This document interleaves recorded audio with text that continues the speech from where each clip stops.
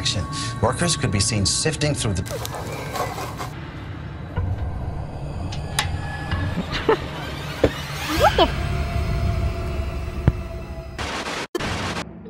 السلام عليكم أتمنى أن تكونوا بخير وفي حالة جيدة من الشيء المخيف الذي عثر عليه تحت إحدى المباني إلى الرجل الذي عثر على شيء صادم ومرعب. سنقدم لكم في هذه الحلقة مشاهد لأشياء مخيفة عثر عليها في الأرض فلنبدأ على بركة الله.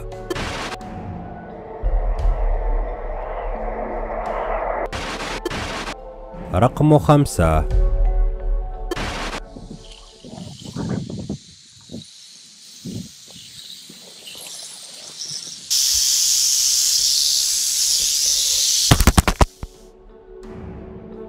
عندما نشر هذا الفيديو في سنة 2015 اشتهر بشكل كبير وشاهده الملايين في وقت وجيز. صاحب الفيديو كان يصور بعض المناظر الطبيعية بواسطة طائرة الدرون وفجأة لفت انتباهه شيء يتحرك بين الأعشاب. فقرر الاقتراب أكثر بطائرة الدرون لمعرفة ما الشيء الذي يتحرك هناك وما وجده كان شيئا غير متوقع.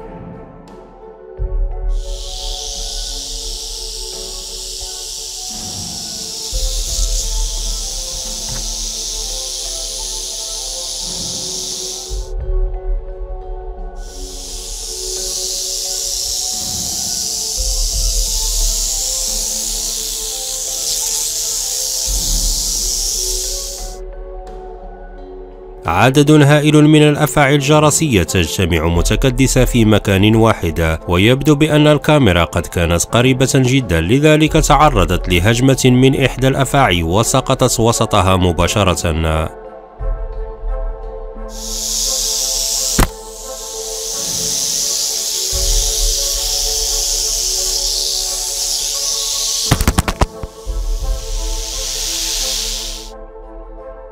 وبما أن الكاميرا غالية جدا تشجع الرجل وقرر الذهاب لإخراجها من وسط الأفاعي. وعند وصوله وجد أعدادا أخرى كبيرة من الأفاعي تحيط به من كل جهة. لكنه كان مصرا على استرجاع الكاميرا وقد نجح في ذلك.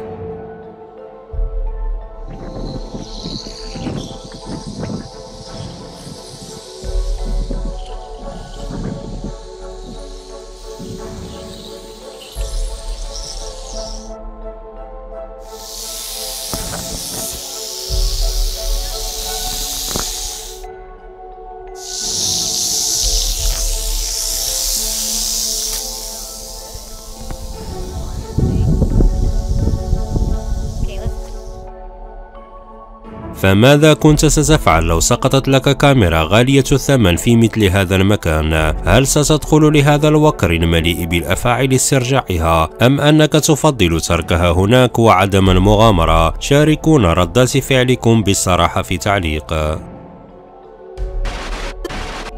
رقم أربعة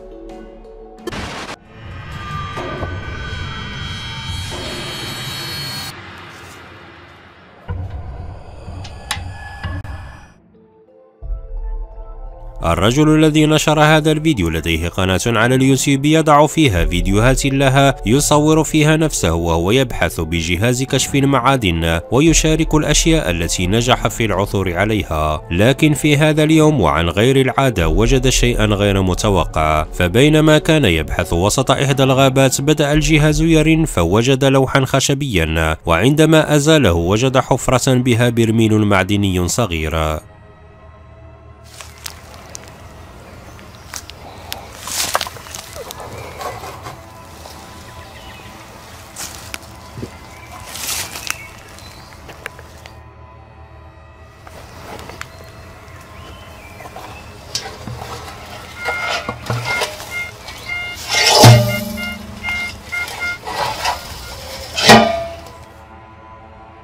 في الأول شعر الرجل بالخوف وتردد في فتح هذا الشيء وأراد الاتصال بالشرطة لكن بعد تردد طويل تشجع وفتح هذا البرميل الصغير وما وجده بداخله كان غريبا جدا ولا يصدق.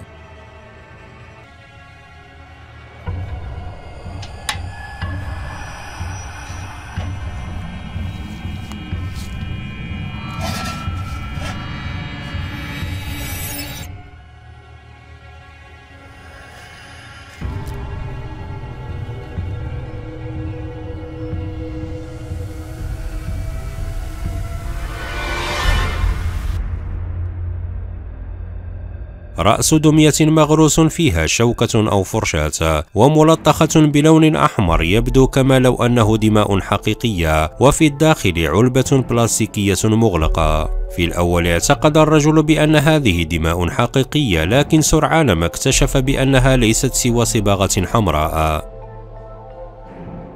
هناك من يقول بأن هذا نوع من السحر مدفون هناك أو أن شخصا ما كان يخبئ تلك الأشياء وسط الغابة لغرض ما. فما السبب برأيكم الذي يجعل شخصا ما يحفر حفرة وسط غابة بعيدة ويخبئ فيها هذه الأشياء؟ أتمنى أن تشاركونا تفسيراتكم في تعليق. رقم ثلاثة. Like Christmas. They got one of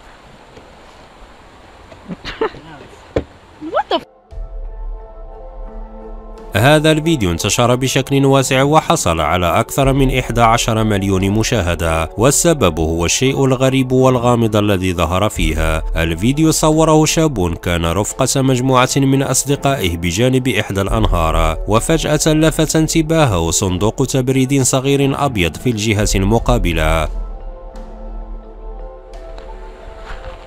Is that your guys's? I don't think it's gonna be moving for a while. What if it's treasure? I hope it's cocaine. If I would have had swimming shorts.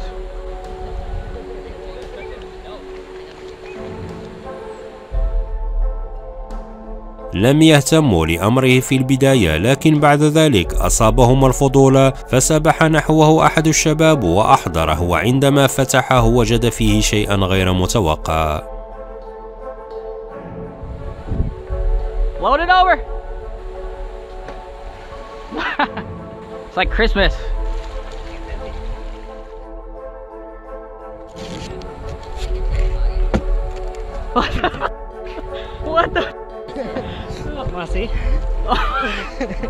There is What a body the in there. قفز الشاب من مكانه من شدة الخوف لأنه اعتقد في الأول بأن هذا طفل صغير لكن سرعان ما اكتشف بأن هذه ليست سوى دمية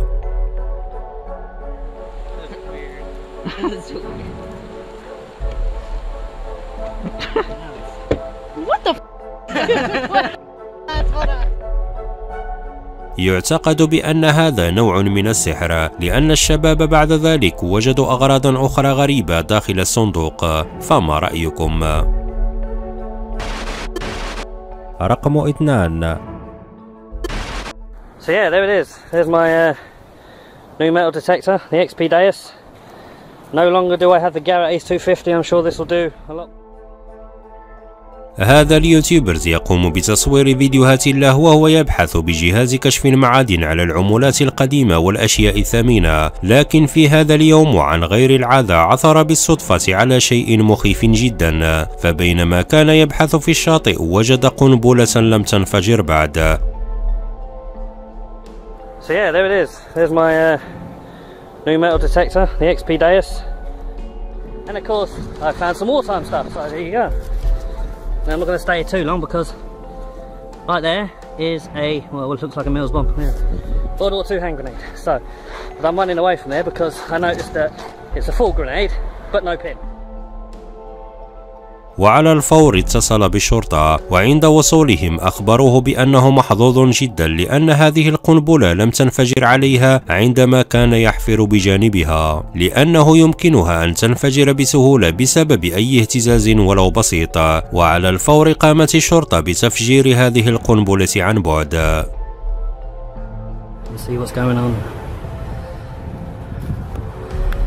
probably the other officers. We go.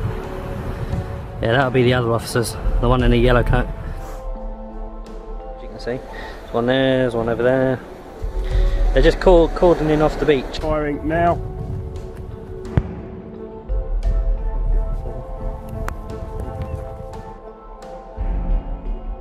يمكنكم ملاحظة ما مدى قوة هذه القنبلة. الأمر مخيف جدا لأن هذا المكان يكون ممتلئا خصوصا في الصيف.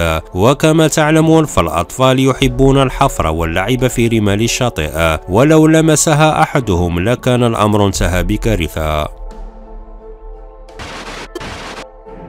قبل أن نشاهد رقم واحد لا تنسى الاشتراك على حسابنا في الإنستغرام لتشاهدوا أشياء ومفاجآت عديدة. وإن كان يعجبكم هذا النوع من الفيديوهات فلا تنسوا الاشتراك في القناة وتفعيل الجرس ليصلكم الجديد. شكرا لكم. رقم واحد. Construction crew dug up as many as two dozen intact coffins in the old city section.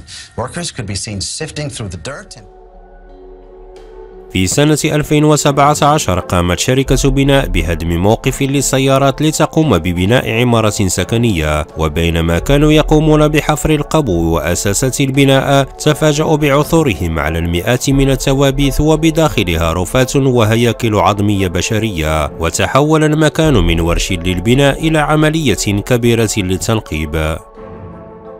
Construction crew dug up as many as two dozen intact coffins in the old city section. Workers could be seen sifting through the dirt and collecting items. يزيد عمر هذه الصناديق عن 300 سنة وبداخلها أشخاص من مختلف الأعمار. وقد تبين بأنه في القرن الثامن عشر كان هذا المكان عبارة عن كنيسة ومقبرة. وفي الستينات من القرن التاسع عشر كان من المفترض أن يتم نقل كل السكان المدفونين هناك لمقبرة جديدة قبل البناء. لكن يبدو بأن المسؤول الذي قام بالبناء هناك لم يقم بنقل المقبرة وقام بتزوير الأوراق وبنى فوق المقبرة. المقبرة مباشرة